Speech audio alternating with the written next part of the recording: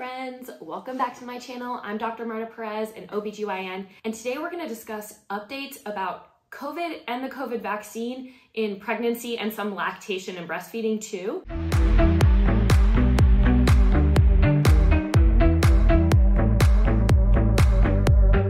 Okay, first, I just wanna review some of the known overview about COVID vaccines in pregnancy. The first thing I want to note is like a level of busting some misinformation. So, when the COVID vaccines were in their clinical trials in the summer of 2020, pregnant people were not included. So, when they were first approved in December of 2020, we were getting emerging data showing how dangerous it was to have COVID while you were pregnant. That was December 2020. Right now is May 2022. And in the last year and a half, since the vaccines came out, Hundreds of thousands of pregnant people have received the COVID vaccine and boosters, and we have seen nothing but wonderful results showing that the COVID vaccine decreases the risk of death, severe disease, and hospitalization for pregnant people. Because of that, the COVID vaccine is recommended in pregnancy and so is a booster shot. Um, if you receive the Johnson & Johnson vaccine, your booster should have been two months after it with an mRNA vaccine. And if your first series was an mRNA vaccine, your booster should have been five months after your initial series. So again, the COVID vaccine is safe for people um, who haven't been pregnant yet or are trying to conceive. There's no effects on fertility, pregnancy in all trimesters, postpartum period, and breastfeeding. In addition to all that safety, we've seen benefits of vaccination in pregnancy. So we know that antibodies cross the placenta into the fetal bloodstream, giving them protection. And a big study came out showing that women who received the COVID vaccine during pregnancy, not only did their babies have antibodies, but they were less likely to be hospitalized for COVID in their first six months of life, which is a huge deal and really powerful. So it offers protection for infants.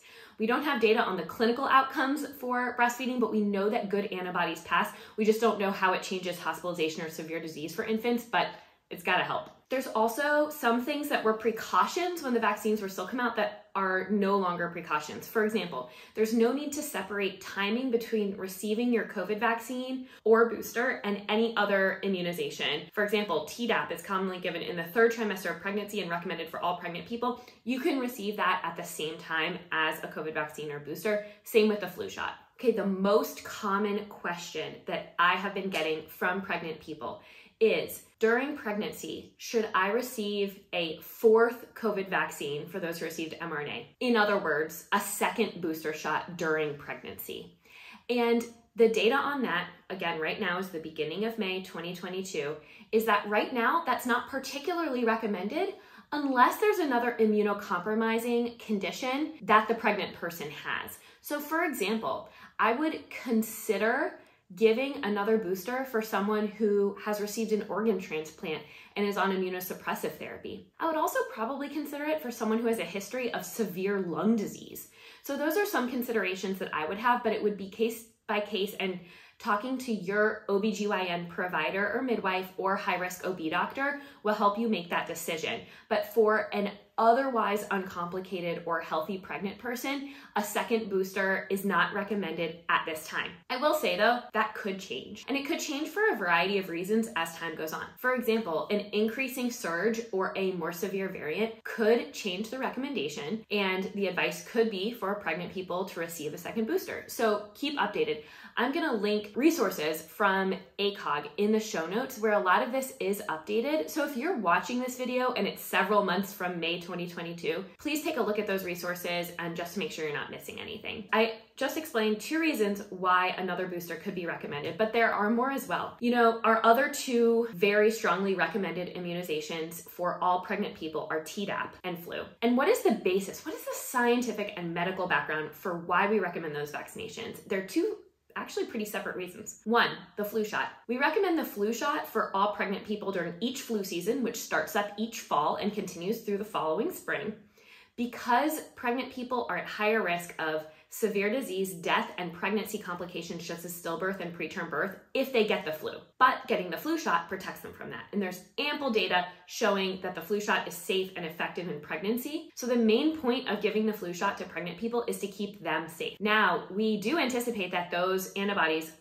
the placenta and also protect the fetus, but because the acute concern is pregnancy, that's why it's recommended. And that's similar to why the COVID vaccine and booster is recommended at this point. The biggest risk of COVID is to the pregnant person having severe disease and death, and pregnancy complications such as an increased risk of stillbirth and possibly increased risk of hypertensive disorders of pregnancy or preeclampsia. So, protecting the pregnant person is why it's recommended. And so, that may be why the recommendations may change if there's a bigger surge or a more extreme variant, again, to add on another booster. Tdap is a vaccine given to all pregnant people around the beginning of the third trimester, and that is to protect babies. The P in Tdap stands for pertussis. Pertussis is a respiratory illness, and it particularly is dangerous for young infants and children. When adults get pertussis, they may be asymptomatic and not even know they have it. It's really not a big deal. So it wouldn't be a big deal about a pregnant person getting pertussis necessarily.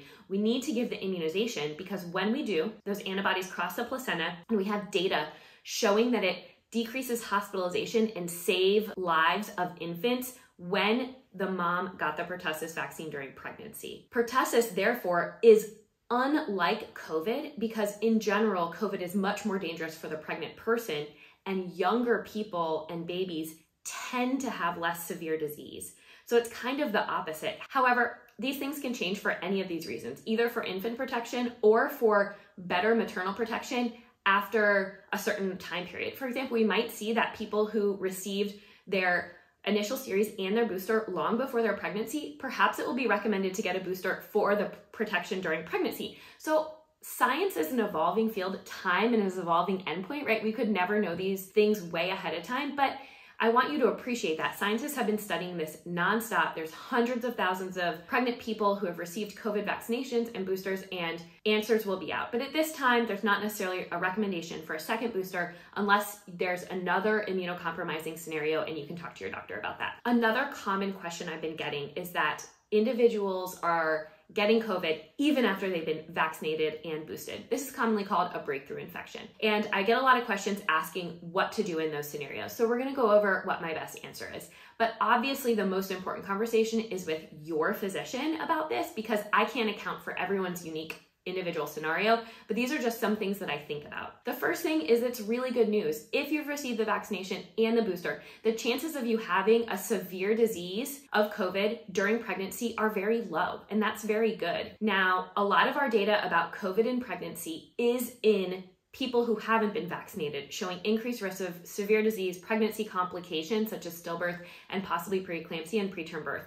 A lot of those things are directly related to severity of disease. And while we don't have a lot of neonatal outcome data in people who had breakthrough infections, we can safely assume that the fact that the disease and the symptoms and possibly the level of virus in the body is probably lower among people who have been immunized and boosted, we can hazard a guess that likely the risk of neonatal outcomes and those pregnancy complications are going to be lower.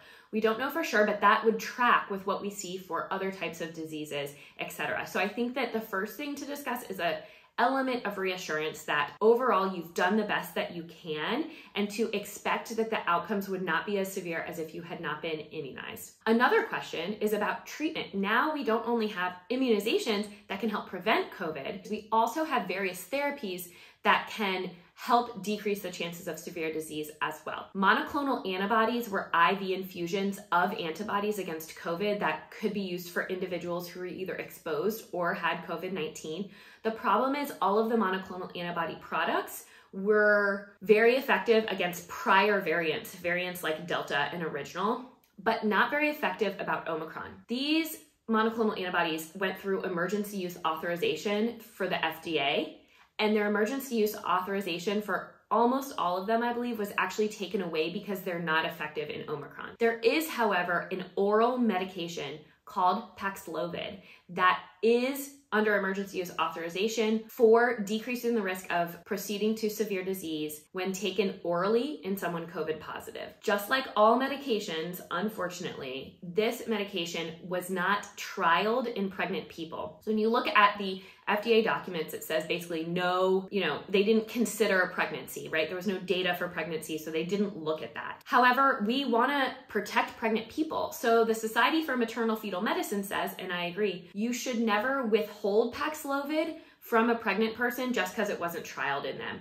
When we look at the medications, the individual medications, it's two different medicines that are in Paxlovid. There aren't tons of data in pregnancy, but it is considered to be something that um, is likely safer than having severe disease. Okay, so there's a few different ways you could look at using Paxlovid if you get COVID while you're pregnant. You can look at your past medical history, your vaccination status. I would highly encourage someone unvaccinated to take Paxlovid, perhaps over someone vaccinated, and the time you are in pregnancy and the effects of other medical conditions, etc., on you. So this is an individual decision. I would offer all of my pregnant patients who test positive for COVID Paxlovid considering their options. In some areas, there might be somewhat of a shortage of Paxlovid depending what's happening. Right now in May, you know, cases are starting to go up again. They've been low, so there shouldn't be much of a shortage, but there certainly was during the initial Omicron surge. And so some healthcare facilities might have a policy that if you are vaccinated, your risk is low enough that you may not be eligible for Paxlovid. So talk to your individual physician about it. I think all pregnant people should have this conversation and decide for themselves whether to take it or not. Similarly, for lactation, there were no studies of lactating and breastfeeding individuals in the Paxlovid trials. However, breastfeeding and lactation alone shouldn't be a reason that one is not offered Paxlovid. Someone can have a discussion with their healthcare provider about using it in the setting of lactation. There are a few different things I consider when I don't have a lot of data about a medication in lactation and breastfeeding that I think about. Will this medication impact milk supply? There's no reason to believe the this medication would impact milk supply at all. It doesn't work by trying to get your body rid of liquids or anything like that. Two, does the medicine even go into the breast milk? And that's an interesting question because we look at the size of the molecule when we think about that. And in general, bigger molecules tend to either not go into breast milk or go into breast milk at a much lower rate. The two molecules that make up Paxlovid are actually on the larger end, making the amount in breast milk to be low possibly lower. The other thing is, if it is in the breast milk, is there even potential for it to harm a baby if a baby drinks it? And so this is the question that everyone wants to know the answers to the most, and we don't have data for it. I would have a risk benefit discussion about this. Is your baby vulnerable for another reason, like being a NICU baby or having an immune issue themselves? Or is your baby, you know, pretty big now, several months old, totally uncomplicated? They could probably handle this medication since there's not really obvious risk with it at all. Um, so again, this is like something that you can decide for yourself or not. One specific consideration is that a common side effect of this medication is that it kind of causes this like metallic taste in your mouth. And so it makes me wonder could it change the taste of the breast milk for the baby? You know, breast milk is different than saliva, obviously, in a lot of ways. I, it makes me wonder that. And so I would just advise someone to like monitor how their baby's eating. Like, I know that Everyone probably just wants a yes or no answer when we're discussing medication use in pregnancy and lactation, but until the FDA changes their rules and really pushes these companies to study this in pregnant and lactating volunteers, we just don't have data to go off. So I really have an individualized discussion with my patients.